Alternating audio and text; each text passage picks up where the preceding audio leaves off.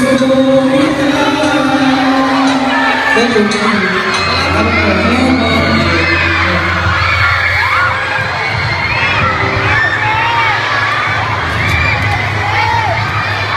you so much, new generation, wow.